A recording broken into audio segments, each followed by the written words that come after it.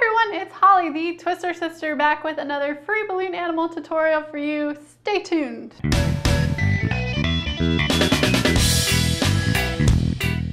Hi everyone, thank you so much for joining me this week for our free balloon animals tutorial. This week I'm going to show you how to make a really cute circus elephant, which can be a hat or a bracelet or you can just hold on to it. Uh, so it's pretty versatile and it uses some really cute balloons, which I love and I will show you those in just a second. So if you've never seen my old tutorial on how to make a simple balloon elephant, go and check that out. Uh, we're going to be using pretty much the same design, just changed slightly. Uh, for this, it's actually a little bit easier doing it um, this way, but I've been doing this a lot for birthday parties and people love it and it makes a really good headband. It's a little bit big for a bracelet, but it looks awesome when people wear it. So you definitely want to add this one to your vocabulary. All right, so to do the elephant, we're just going to need one gray 260 balloon and we're going to blow this one up almost all the way. I'm just leaving about a one and a half to two inch tail there on the end and making my balloon nice and soft by letting a little bit of air out. So to start with the elephant, it's just like the other elephant video that I have. We're gonna start with the tail. We're gonna make a small round bubble. Gonna two back legs. It's about three or four inches for the back legs, just like a dog head. We're gonna bring it across. We're gonna do a real short little tummy on our elephant. And then you're gonna do two front legs, same size as the back legs. There's our elephant. And he's got a really long trunk and no ears. so go ahead and squeeze the rest of your balloon out so it fills it up all the way to the end. And then we're going to bring it into the legs and decide how long you want your trunk to be. I think mine's gonna cut off right here, so I'm just gonna twist it together.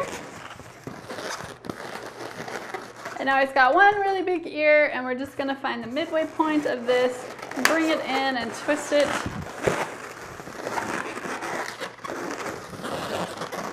To make our two little elephant ears. And that's a really quick and simple one balloon elephant. And one thing I always like to do is shape the ears. So pull them apart and squeeze the sides there to make them a little bit more rounded. And then you can do whatever you want with the trunk. Some people like to leave the trunk pointing up. Some people like to curve it down. Um, I've been told several times during my balloon twisting years that it's bad luck in some cultures to have a elephant with its trunk facing down. Uh, so I kind of leave it up now. It does look cute and make him look more circusy. And now we're going to give him some eyes. So I'm just going to take my white 5 inch round and just blow that up and let some air out here. I'm gonna make mine about this big. We don't want our elephant to have huge bug eyes.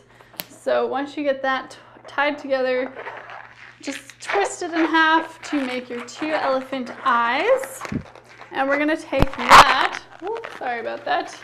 We're gonna take his eyes underneath his trunk and bring them up top above his trunk and then switch places to lock them in place, just like that. So there is our elephant. He's done and ready to go. Um, at this point, you could draw some eyes on, so you don't have to worry about that later. So I'm gonna go ahead and do my eyes now.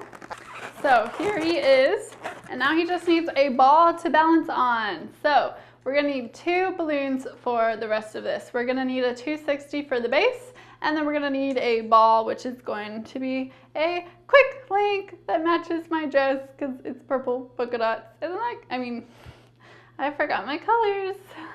It's orange polka dots. That's what we'll be using. so I'm gonna be using the turquoise 260 and uh, just blow that up.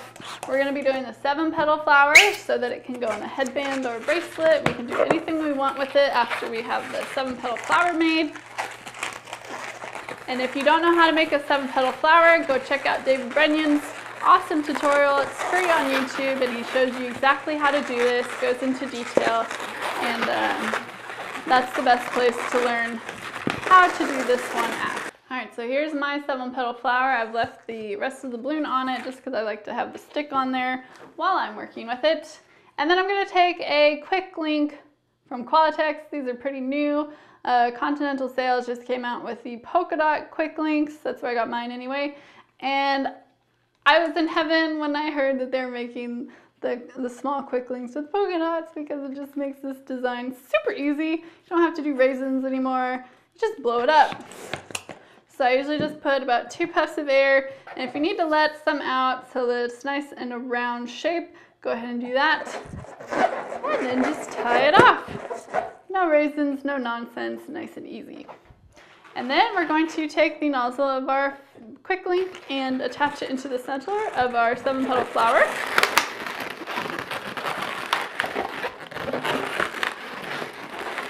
And that's kind of cute like that. It's a unicorn.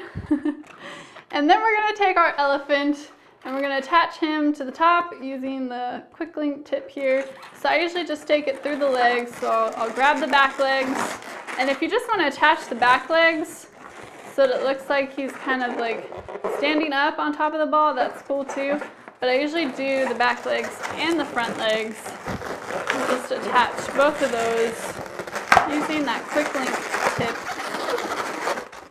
So that you've got an elephant balancing on a ball. It's super cute.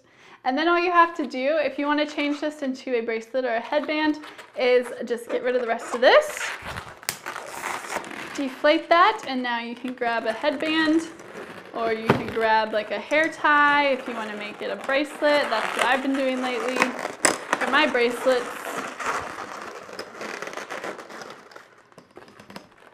And now we have an adorable little headband, which is perfect. I've been getting a lot of circus theme parties lately, and this is one of the designs I do a lot for those and just other random events as well. Everybody likes elephants, so that's a good one to learn. I hope you guys enjoyed it. Please let me know what you think in the comments below.